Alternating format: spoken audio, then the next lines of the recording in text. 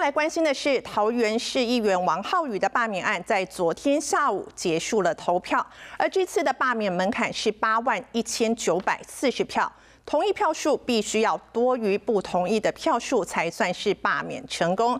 而依照桃园市选委会公布的票数，同意票有八万四千五百八十二张，确定跨过了罢免的门槛。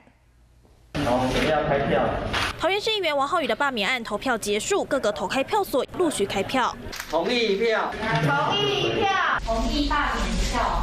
中立选举人总数有三十二万七千七百五十八人，这次如果要成功罢免，必须达到八万一千九百四十票的门槛，而且同意票数必须多于不同意票数。罢免王浩宇的发起人唐平荣也到现场投票，对投票情况保持乐观态度。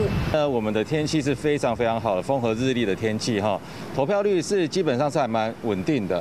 各投开票所在投票时间都有民众陆续前往投票，王浩宇的服务处依旧铁门关紧紧，面对罢免案态度低调，而王浩宇会变成罢免对象，就是因为争议事件一桩接着一桩。桃园市选委会公布了最新票数，同意票数确定跨过八万一千九百四十票的罢免门槛，中立区的选民已经用选票决定了王浩宇的最终去留。华视新闻领红姐吴全元、黄品轩、罗丽云、薛收前桃园报道。